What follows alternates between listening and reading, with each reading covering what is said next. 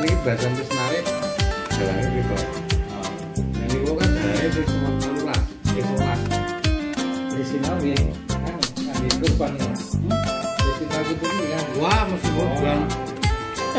Kayak gitu gue nek iki dialah aku iki seneng musik saiki ora iki manukku enak-enak. Jadi seneng dia kan kurban